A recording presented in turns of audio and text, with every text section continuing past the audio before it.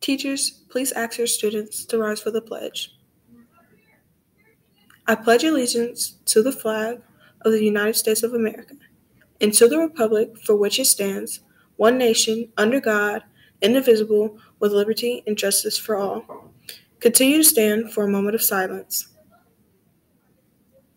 You may be seated.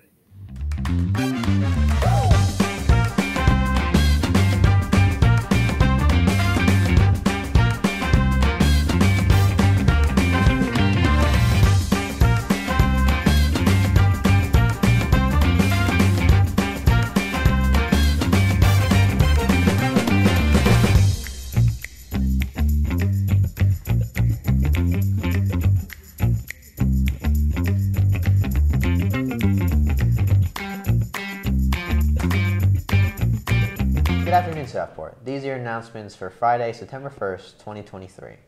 The Golden Door Scholarship is now available for undocumented students. The scholarship covers tuition, room, and board, mentorship, career support, and more.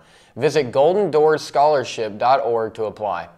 There will be a DECA meeting in room 247 on Wednesday, September 6th during the second session of IPAS. Anyone interested in joining the student-led business club is welcome to attend. Contact Miss Quinlan with any questions you have. We'll be right back with your Cardinal Sports.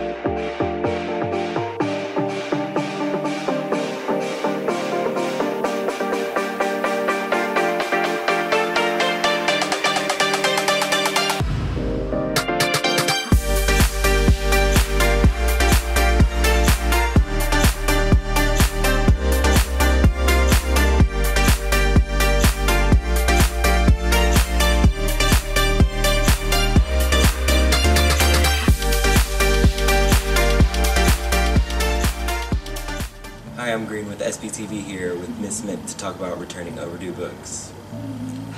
Hey you guys, how are you? I'm Mrs. Smith. I'm the librarian here at Southport. Just a little bit about returning books. Um, when you check out books, they are checked out for two weeks.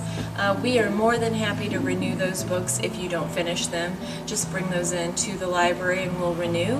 If you don't want those books and want to return them, you can drop them off at either book drop on the side of the library doors or in the big red book return. So, and we are happy to take books if you have overdues from other schools in the district. So, we hope to see you in here. Thank you.